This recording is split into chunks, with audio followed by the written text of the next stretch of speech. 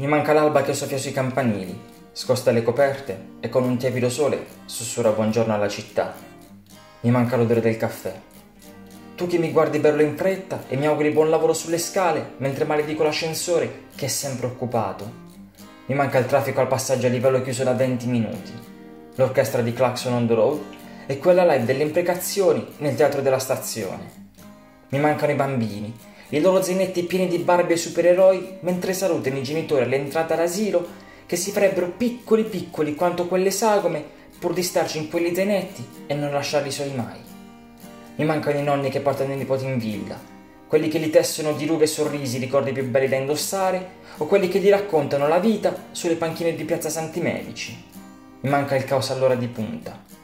Gli alberi di piazza Moro che respirano quiete, ed i rami di piazza Marconi che confessano tristezza e malinconia al primo pomeriggio.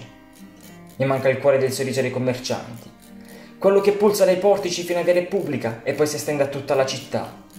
Mi mancano i ragazzi che a sera vestono di libertà, vita ed eterna giovinezza i vicoli e le strade del centro storico, sotto lo sguardo maestoso e barocco della cattedrale e sotto quello quattrocentesco del Torrione Angioino. Mi mancano i loro futuri eterni amori adolescenziali. Mi manca il pala borsellino nei sabati di futsal, o il città degli ulivi alla domenica quando gioca il bitonto.